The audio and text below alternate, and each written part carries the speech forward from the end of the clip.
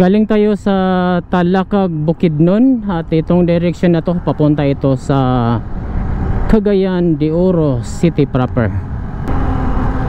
So dito sa junction ng Kabula of Lumbia, Cagayan de Oro City ay may palikong daan dito. Ayan. At ito po yung daan na ating papasadahan ngayong araw. So ito yung daan na nagkukonekta mula dito sa Cagayan de Oro City papunta doon sa Manolo Fortits, Bukidnon. At madadaanan natin ang municipality of Baungon, Bukidnon. So kung ang biyahe nyo mula dito sa Cagayan de Oro City, Talakag, Iligan, Lanao del Sur. Kung ang biyahe nyo papunta dito sa Manolo Fortits, Bukidnon, ay napakaganda po itong alternative road na ito para makaiwas sa matraffic na Cagayan de Oro City proper. So sa video na to ay ipapakita ko sa inyo ang status ng daan kung safe ba itong daanan sa lahat ng uri ng sasakyan at ipapakita ko din sa inyo ang mga magagandang tanawin na ating madadaanan So kung mag right turn ka dyan guys yan po yung daan papunta doon sa Lingating. So diretso lang po tayo at papunta tayo doon sa Baungon Bukidnon kanina pa tayong paangat pero yung paangat niya guys ay hindi masyadong matarik. Tamang tama lang at magandang daanan para sa lahat ng mga sasakyan dito maganda mag ano, invest ng lupa no? Mas mura dito guys. Liburan Samahang Nayon Multipurpose Cooperative. Maraming mga cooperative sa mga ganitong mga area para mapagaan po yung expenses para sa gastusin ng agrikultura sa panahon ng land preparation ay pwede kayong makahiram ng pera sa kooperatiba. Imbatug Baungon Bukidnon. So dito na tayo sa barangay Imbatug Baungon Bukidnon. So mula doon sa highway ng Kabula hanggang dito ay konkreto pa rin yung daan.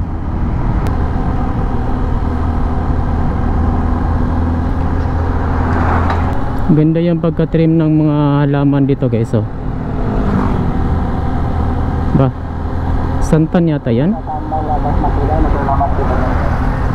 Tapos dito sa kabila plantation ng papaya. Yan oh. Ang lawak yan guys. Dito din oh. Daming bunga malaking pera yan.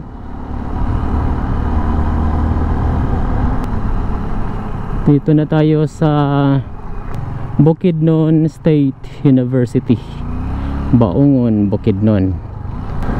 Maganda pag malawak yung kalupaan mo dito sa Baungon napakalapit lang sa Cagayan de Oro.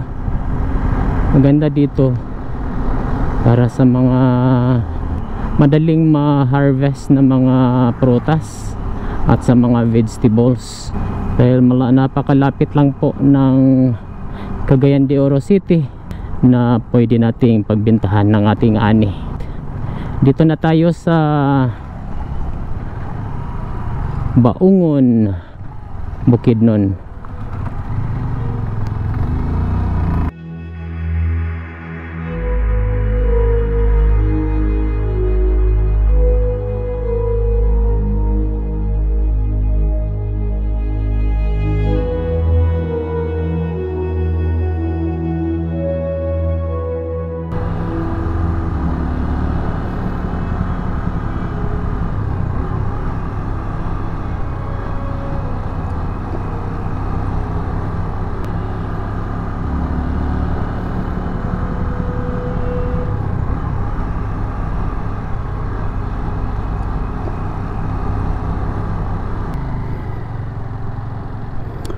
Ito po yung Paungon Municipal Hall.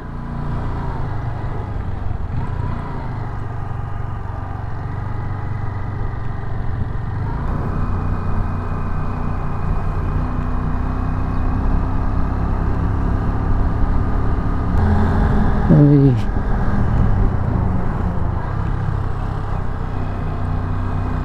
Mula dito sa Baungon ay pupunta na tayo doon sa sa crossing of Lebona Bukidnon. Papunta doon sa Manulo Fortits Bukidnon. Ganda ng view dito guys oh. Dyan tayo dadaan guys oh? Sa baba na yan sa kalsada na yan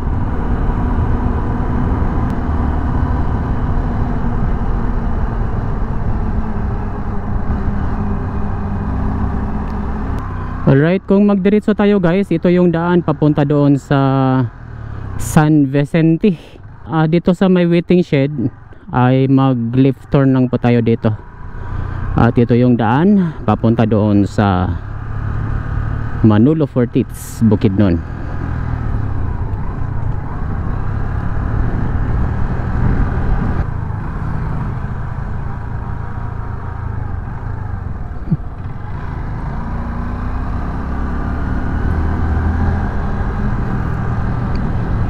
Ito guys, makurbada to guys. Matarik na makurbada. Letter U.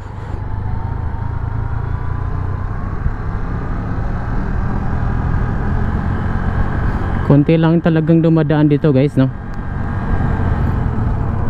Bakit kaya? May rough road pa kaya dan sa anuhan?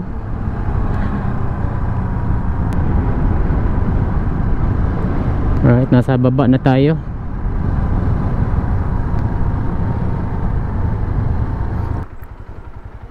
Yan, dami naliligo. Tapos, dyan sa kabila, meron silang dam na ginawa. Yan. Ang lawak pala ng swimming pool dito. Oh, yan, oh. Meron pa dito sa lalim sa tulay, oh. wow. Libre ang palamig sa ilog dito sa Baungon River. Baungon River ba yun? Correct to guys.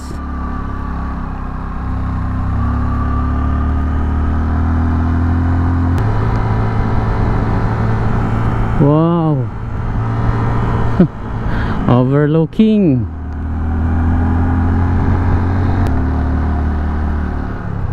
Ayan guys oh. Wow.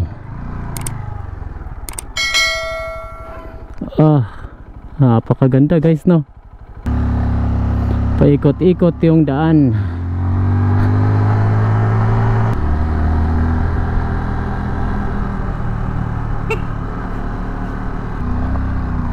Kaya pala konti lang ang dumadaan dito kasi may part pa talaga na rough road. Ayos lang naman yung pagka rough road niya dahil pantay. Eh, walang pangamba sa madulas na daan at mabalahaw. Dahil tingnan nyo naman napakaganda po na pagka rough road. Wala ka makikitang malalim na lubak lubak I think plantation na to ng Del Monte. Itong area na ito. Yan o pineapple plantation ng Del Monte. Dapat lang na gawa ng magandang daan ito. Dahil income generating itong area ng Del Monte plantation mababa din po pala. Ang rough road. Hmm, kaya gaya nga ng ano may bao-bao right dito tayo sa Nangka Elementary School. I think Nangka is part of Libuna Bukidnon na.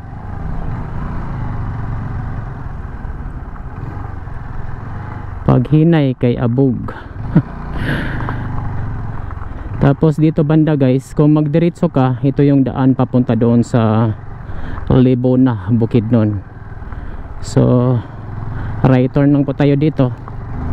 At papunta tayo doon sa crossing of Libona Bukidnon papunta doon sa Manolo Fertits Bukidnon oh, yan pineapple plantation. Pineapple plantation. Belaan yan guys. Napakalawak tong plantation ng Del Monte. Dito sa Libuna Bukidnon and Manolo Fertits Bukidnon. Dito banda ay konkreto na. Kaso hininto yung construction wala tayo nakikitang mga construction equipment doon sa uh, rough road area. Sayang. So meron lang itong 4 kilometers na rough road. Tapos yung 4 kilometers na yan guys ay maganda po yung pagka rough road niya wala kang makikitang malalim na lubak-lubak at wala din pong matarik na bahagi ng kalsada na rough road. Approaching tayo dito sa junction na to guys na kung saan kung mag right turn ka papunta yan sa Pungol. So left turn lang po tayo dito at papunta tayo doon sa crossing Libuna Bukidnon and Manolo Fortits Bukidnon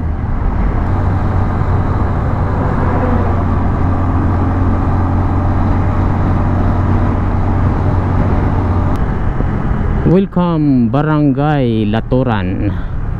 Libuna Bukidnon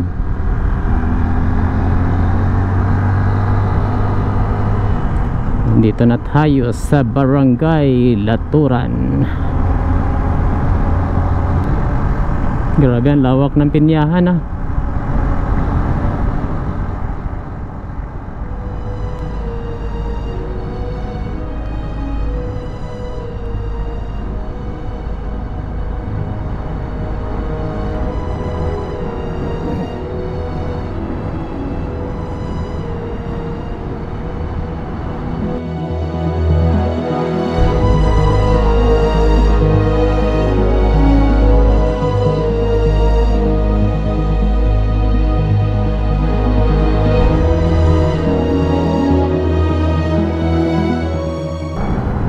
may bus guys oh. Farm service ah. Farm service pala yun. Hindi pala yun public utility vehicle. Mga trucks ng Del Monte.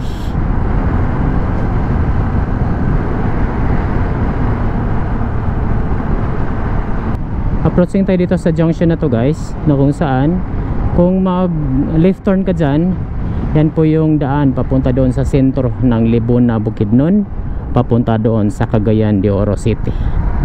Alright?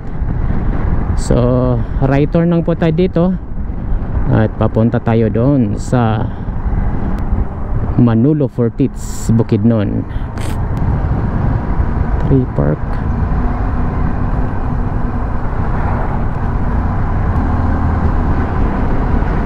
Crossing Elementary School.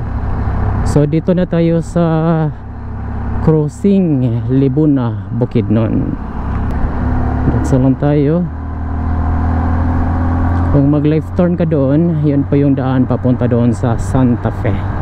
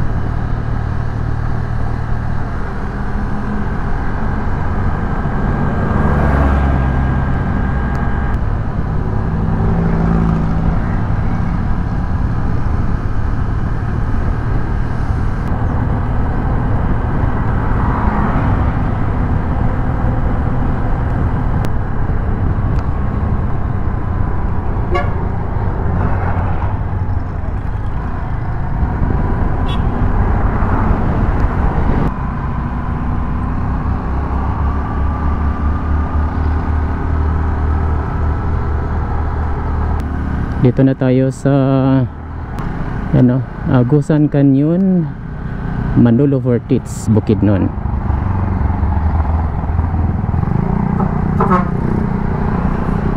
yan guys oh.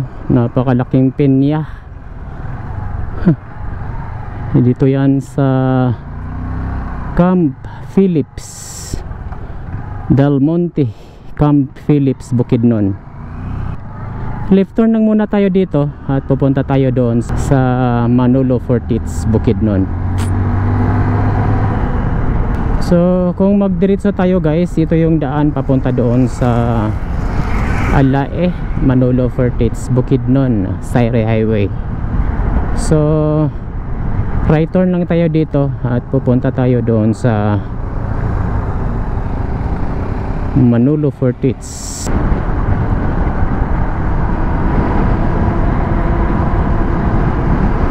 napakagandang kalsada din na dito guys. Talagang may nag gum- gumawa ng maintenance. Pero dapat. Wah.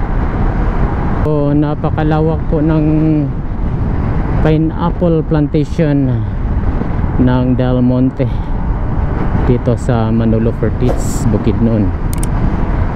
Yan o planta planta ng Del Monte.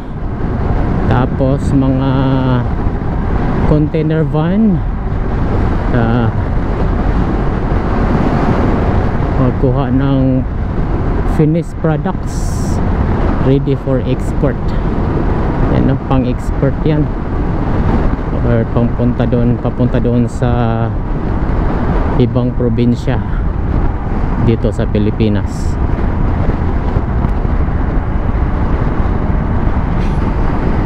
So kung magdiretso tayo guys, ito din po yung daan papunta doon sa uh, Sayre Highway at uh, via San Miguel.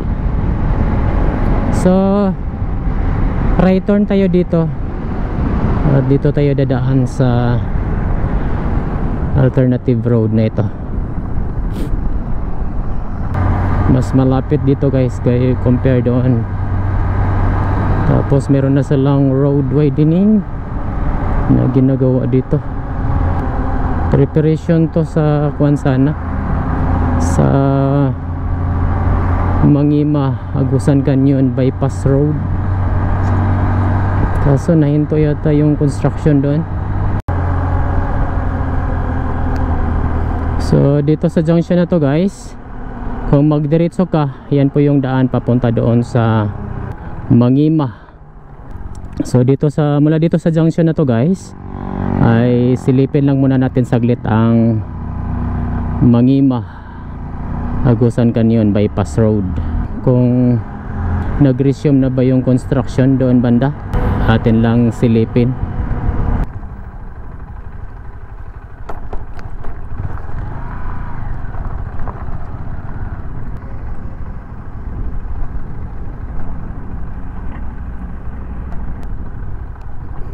Nag-resume na pala sila.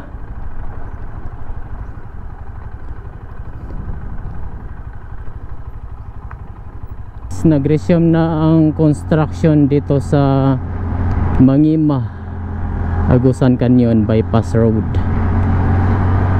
Sana matapos na yan guys para happy ang lahat hindi na mahirapan magdaan doon sa Mangima zigzag roads. Right? So sinilip lang natin guys. At hindi na tayo bumaba dahil matarik na po yung banda doon. At marami ding mga equipment na gumagawa. I-update natin yan mga December siguro left turn lang po tayo dito at ito yung daan papunta doon sa sentro ng Manolo Fortits Bukidnon approaching tayo dito sa sentro ng Manolo Fortits Bukidnon so recap lang po ng ating biyahe mula doon sa Kabula hanggang doon sa Baungon. Ay konkreto po yung daan dyan guys mula naman doon sa Baungon hanggang dito sa Manolo Fortits Bukidnon ay konkreto din po yung daan. Mayroon lang portion na around 4 kilometers na rough road doon banda sa Barangay Nangka of Libuna Bukidnon.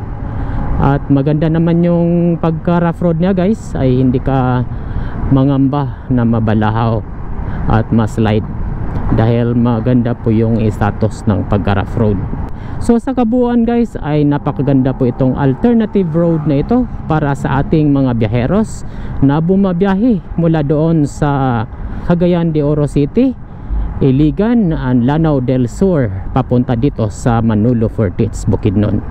Kung nagustuhan nyo tong video na to ay huwag kalimutang mag-like, comment and share para mas marami pang makapanood sa video na ito. Hanggang sa muli, daghang salamat po!